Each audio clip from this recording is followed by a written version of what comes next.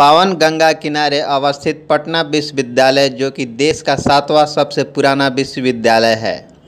इसी विश्वविद्यालय से दिनकर जैसे विभूति को शिक्षा मिली।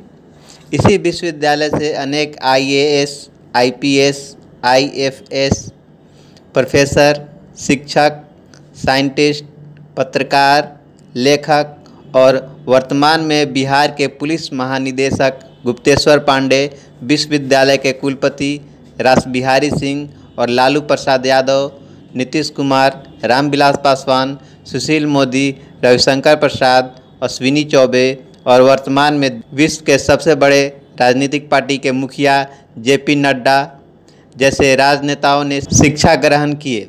विश्वविद्यालय में अनेक इम्तहान देकर कुछ लोग देश के विभिन्न हिस्सों में अपनी सेवाएँ दे चुके हैं और कुछ लोग दे रहे हैं। लेकिन ऐसा कौन सा कारण है कि आज इसी विश्वविद्यालय को अपना इम्तिहान देना पड़ रहा है, जो कि नैक के द्वारा लिया जा रहा है? विश्वविद्यालय प्रशासन से अनेकों सवाल किए जा रहे हैं।